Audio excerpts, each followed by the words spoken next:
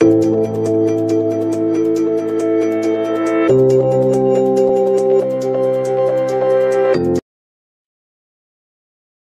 is the oxidation number of each element in magnesium peroxide? We can use the oxidation number rules to determine oxidation numbers. Magnesium peroxide is a neutral compound with overall oxidation number 0. Therefore, we know that the sum of the oxidation number of the atoms is equal to 0. By the rules of assigning oxidation numbers, the oxidation number of a group 2 element in a compound is plus 2. Magnesium is a group 2 element, so the oxidation number of magnesium is plus 2.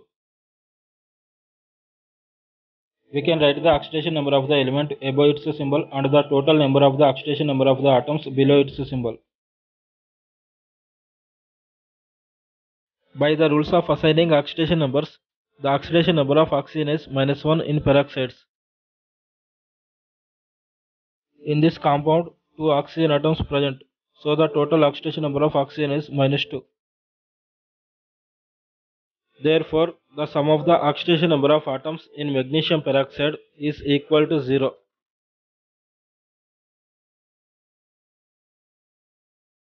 So, the oxidation number of magnesium is plus 2 and the oxidation number of oxygen is minus 1 in magnesium peroxide.